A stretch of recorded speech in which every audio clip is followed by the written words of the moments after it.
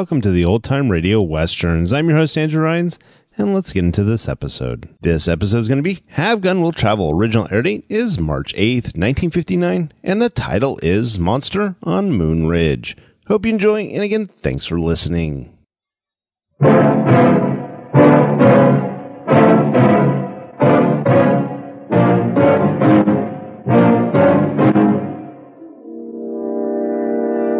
Something loose on that mountain top that's bigger than any man I've ever seen. And stronger. Before I leave, I intend to find out what it is.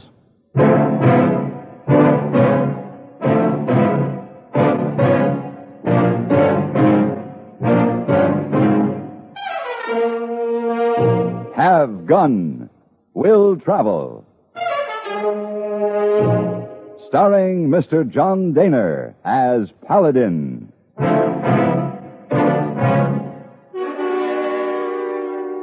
San Francisco, 1875. The Carlton Hotel, headquarters of a man called Paladin.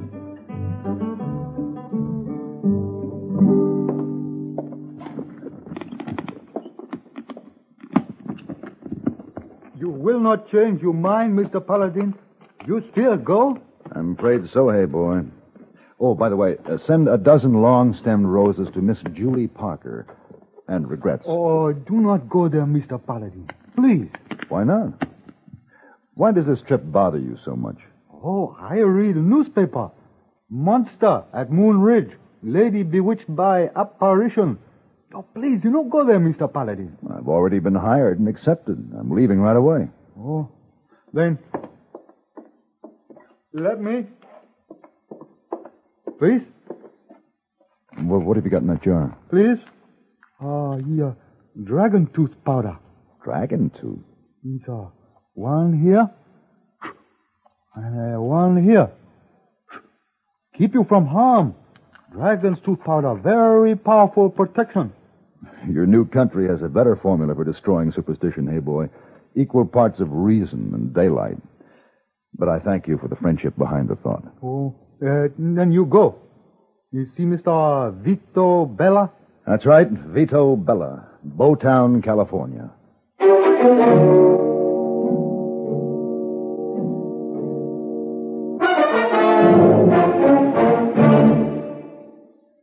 Even if you've had embarrassing dandruff for years, you can get rid of it now in three minutes. That's all it takes with Fitch Dandruff Remover Shampoo. Yes, unsightly dandruff's gone in three minutes with Fitch, quickest, easiest of all leading shampoos. What's more, using Fitch regularly is guaranteed to keep embarrassing dandruff away. Just apply in the unique Fitch manner. Before you wet hair, rub in one minute. This way, Fitch shampoo penetrates right down to the scalp. Next, add water. Lather one minute to wash every trace of dandruff out of your hair. Then rinse one minute. All that loosened dandruff goes down the drain. In three minutes, with Fitch, one rubbing, one lathering, one rinsing, dandruff's gone. At the same time, gentle Fitch can leave your hair up to 35% brighter. To get rid of dandruff problems forever, brighten hair too. Use Fitch regularly. Get Fitch Dandruff Remover Shampoo today, only 59 cents.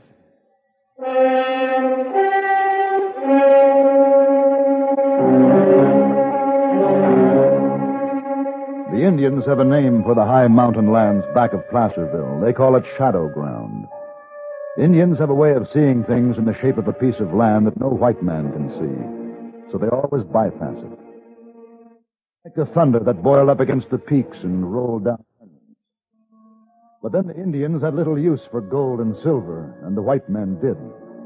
And the white men built their town where a teepee village might have been, close to the top of Moon Ridge. It was after dark, and the sky was heavily overcast when I pulled up in front of the sheriff's office in Bowtown.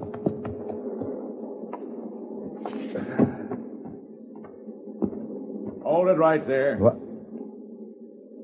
I'm looking for the sheriff. That's me. Who are you? My name is Paladin.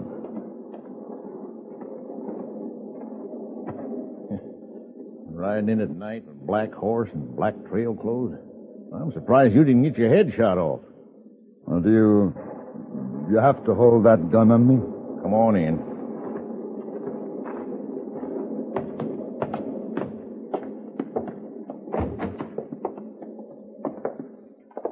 Uh, Who's he, Dan? He's a hobgoblin, ain't you heard? Oh, you're smart. This is Jake Kelly, Mr. Paladin. He carries silver bullets in his gun. Really? Claims something grabbed him on top of Moon Ridge one night. Oh, uh, sit down I'll pour you some coffee. Thanks. Uh, where are you from, Mr. Paladin? San Francisco. Oh, that's a long way. Are you the fellow Vito said he was sending for? About Emily? He wants to know what's bothering her. I'm going to try to find out. Well, I mean, I, I'll tell you what's wrong with Emily. She's hexed, that's what. And and you'd know I'm talking true, Dan. If you if you'd ever ride up there and see her yourself. Sheriff's got to stay around town. Now, you know that. oh, you you ain't set foot out since the time your posse got scattered. No. That was a little accident. Few horses run away and folks build it into something big. There ain't nothing up there. Oh, Miss Paladin, I was as far from it as I am from you. I mean, I seen it. Be a half man, half bear. Yeah, oh, and, and footprints this long. A human at one end, claws at the other. Well, Guess I'll have to see them, too. Why, you uh, don't believe me? All right, all right. When you get to that Bella place, you ask Emily Bella what carried her off. Hmm? Yeah, but no, don't ask Dan here. No, yeah, he's sheriff, and if he admitted there was something up there, he'd have to go on out after it. Get out of here, Jake. Now go on. Yeah, Crazy old coot. Sheriff, is there anything valuable up there? Minerals, grazing lands, any reason for someone to scare people away? No. Formation ain't right for gold or silver. Indians didn't want it. Said it was full of spirits. You know, a short time ago, I was feeling superior to a Chinese friend of mine when he sprinkled dust on my coat. I forgot that he came by his superstitions honestly, that he learned them from the cradle. I, uh, I can't find the same excuse for you, Sheriff. Oh, I ain't superstitious. Why the mistletoe above your door? Oh, yeah. Oh, uh, forgot it from Christmas, I guess. There's an old belief that it wards off evil spirits. All right, Paladin. The Bella place is north out of town. The last house on the way to Moon Ridge country.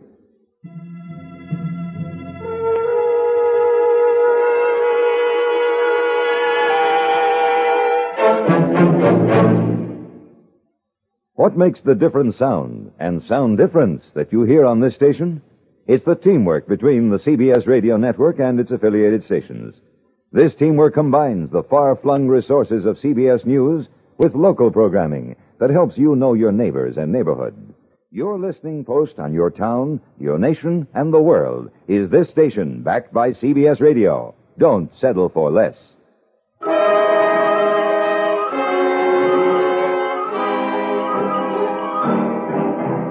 The Bella place was run down and listless, with a small light gleaming in the window, and the figure of a woman seated on the porch steps, a young woman, dark, plain, no shoes or stockings, long hair, and the most vacantly staring eyes I have ever seen.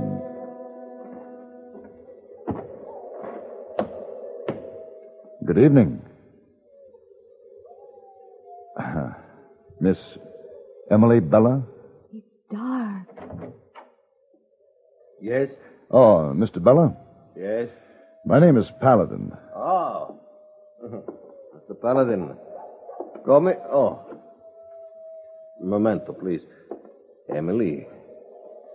No, you promised you'd tell Papa when you stepped outside. Remember? It's cold here. And when a visitor comes, a big girl says what, huh? How do you do? Ah, How do you do, Emily? very good. Now you come in the house with us, huh?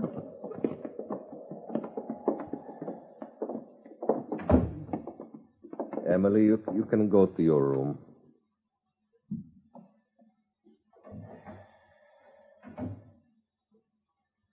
dozen years ago, there was in this valley an epidemic. Took my wife, almost my daughter. I'm sorry. Afterwards, Emily's body grew, but her mind.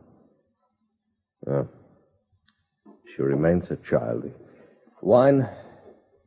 Please. Well, this epidemic, what was it? Oh, we don't know. N- No doctors here. There was a young boy who was affected the same way.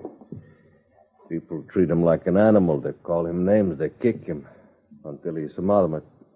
She took him away.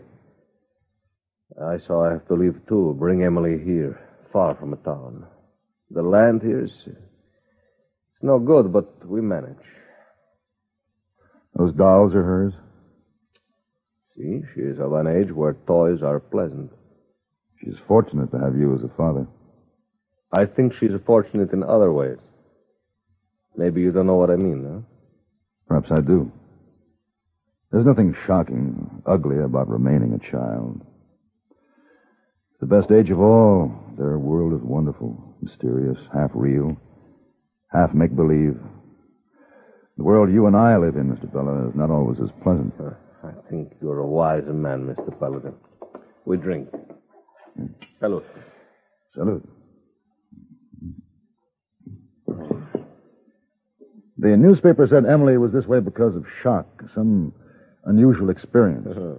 a spell cast by the monster of a moon ridge. Well, since that story is untrue, why do you want to pay me $200, Mr. Bella? You telegram said 500. You haven't answered my question. Mr. Paladin, there is something on Moon Ridge. It took Emily away from me for a week, and she wishes to go back to, uh, to, to it. I don't want to lose my daughter. Go on. Uh, for that week, I search for her. I find her prints and other prints which I will not describe because. Half bear, half man. Well, you have heard, huh? Now, she will not tell me, even her father, what kept her there. But she was not harmed. She wishes to return to this, this, this Yes. thing. Oh. Yes. She has tried twice to run away. Then I think it's time you let your daughter go back to Moon Ridge, Mr. Bella. What? The three of us will leave first thing in the morning.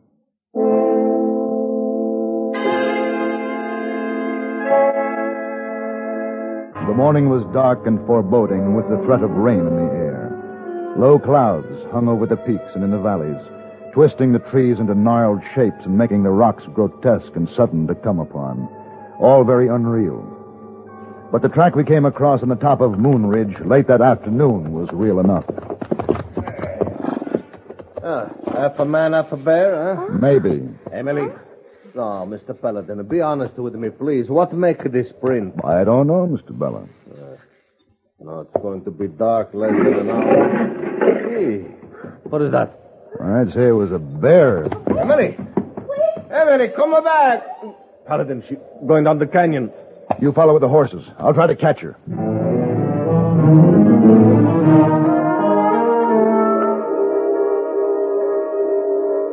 The canyon walls were steep and rocky, and it made the climb down them treacherous.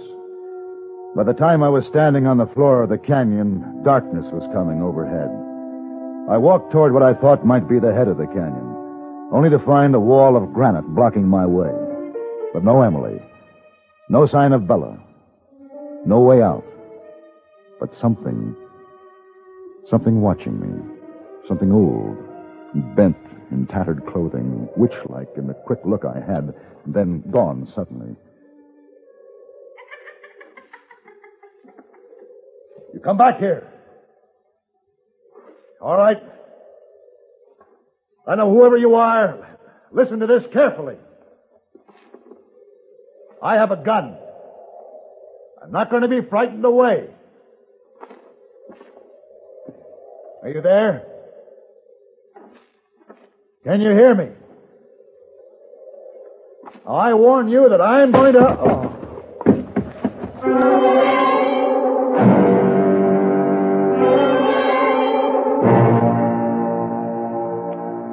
When I regained consciousness, I was inside an old mine shaft, a chain on my leg, minus guns. A very real looking bear was chained across from me.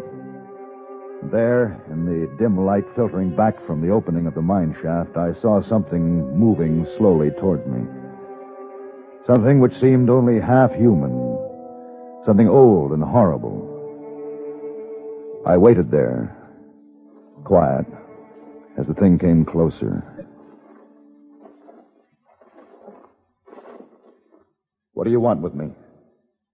Leave while you can.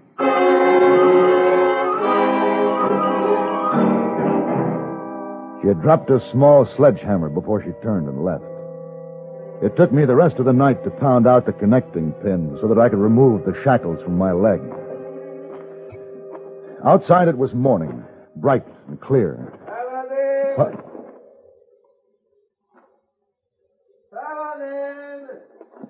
Bella!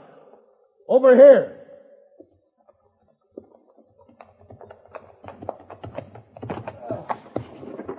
Oh, I've been riding all night. You seen Emily? No. Oh, here, I found your gun and a belt, fella. Oh, oh, thank you very much. I didn't know what to do. I half expected to find your body. Now, let me ask you something. Bella, has anyone, has anyone ever been hurt in Moon Ridge country here? Actually physically injured? No, no. Only frightened? Yes. I've been frightened too, but I'm not hurt. Bella. Hmm? I think I know where Emily is. Where? I would say up there. Huh? Beyond that cliff that backs the canyon. The cliff. Possibly a meadow behind there. Oh. The trail would be worse than in Sicily. That it would frighten a bad rider. And with a little clever discouragement, even a good rider. Come on.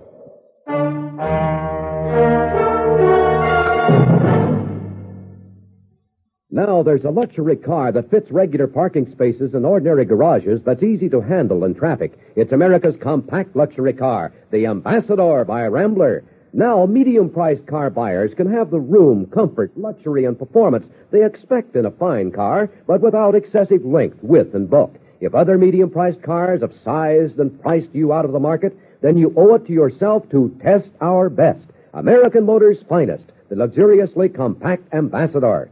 Note the quality construction and careful attention to detail. Enjoy the most favorable power to weight ratio on the medium priced field with Ambassador's 270 horsepower V8 engine. Try luxury features like individually adjustable front seats that glide back and forth separately. Five minutes at the wheel of an Ambassador will change your ideas about luxury cars. Test our best, the Ambassador V8 by Rambler. Finest car ever priced so close to the lowest. See, drive the luxurious Ambassador now at Rambler dealers.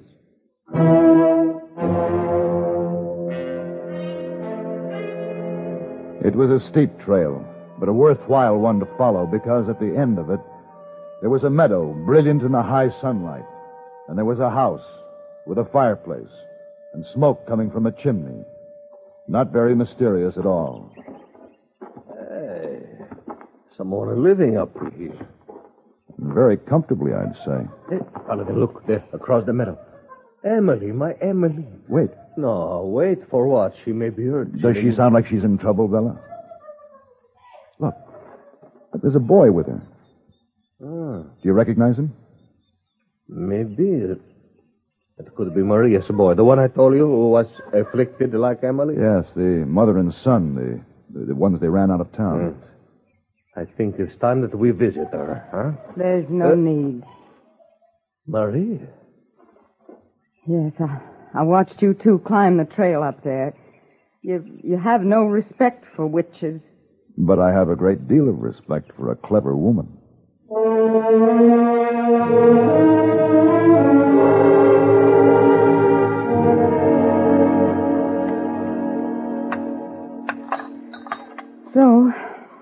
Where else could I take my son? I, I had no money.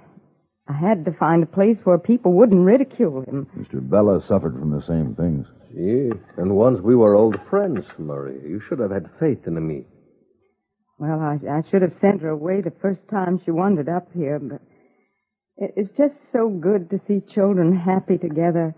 Uh, the soil is good up here? Yeah, better than below. Hmm? More sun and more water. Uh, why talk of it? Why not? Because it, there's always a man somewhere who won't scare off, like this one. I'm sorry. Materialize an apparition on a broomstick in front of him, and he'll ask it to sweep the floor. The monster footprints I made, half mine, half a bear's, they meant nothing. I've run out of tricks. I've moved before. We can do it again. Why move? See, why move, huh? If I lived here, there would be no man bear track, no cave to put foolish men in and then release him to run frightened, shouting foolish things. I think since I am a man, there would be a gun in my hand, and friends would be welcome, others would not. If a man has something to say, he comes right out and says it. Yes, well, I, Maria, I think perhaps uh, I, I like your land. And I think I'll be going. I'll expect $200 to be placed in my San Francisco account, Mr. Vella. And, uh, I suspect that you got more than you bargained for. But you will get what you bargained for, Mr. Paladin, 500. Uh, you have to ride through town, I suppose, and talk to the sheriff? No, no, no. Ignorant and prejudiced people like to be deceived, and they deserve it when they are. Why confuse them with the truth?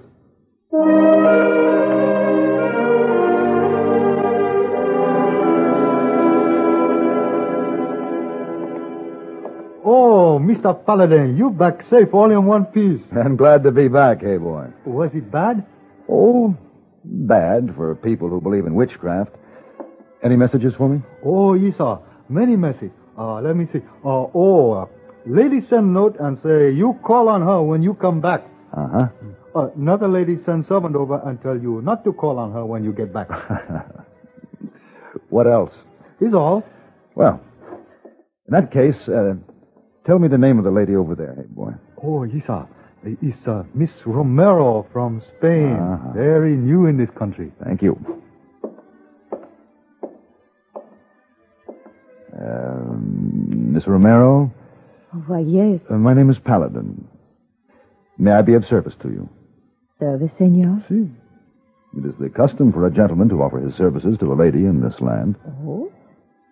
What kind of services? Any kind the lady wishes. Dining in fine restaurants, the theater, the opera. Perhaps a carriage ride to historical points of the city. You, your heart names it. I like these customs, senor. But isn't such a relationship fraught with possibilities? Oh, it is, senorita. All kinds of possibilities. Shall we begin with the possibility of dinner this evening?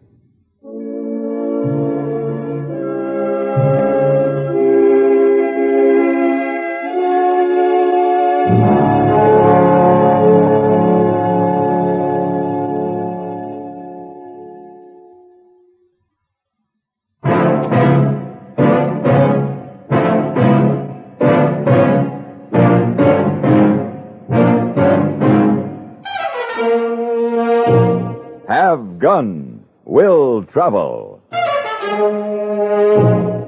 Created by Herb Meadow and Sam Rolfe, is produced and directed by Norman MacDonnell and stars John Dehner as Paladin with Ben Wright as Heyboy. Tonight's story was written by Gene Roddenberry and adapted for radio by John Dawson.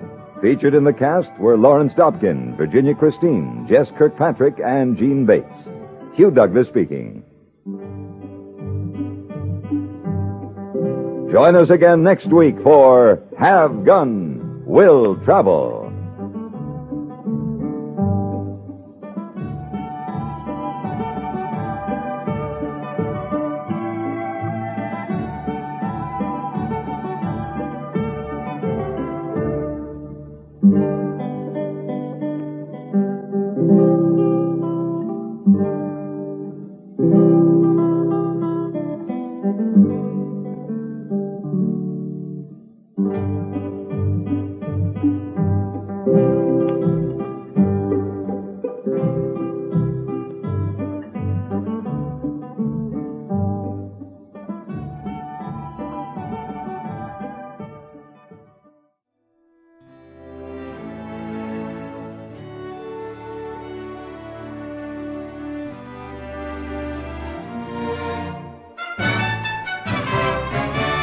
This has been a presentation of OTRWesterns.com, and we hope you enjoyed. Please take some time to like and rate our shows in your favorite podcast application. Follow us on Facebook by going to otrwesterns.com slash Facebook.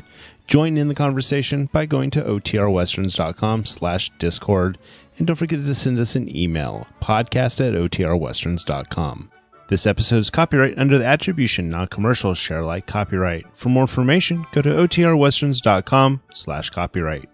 Have a great day, and again, thanks for listening.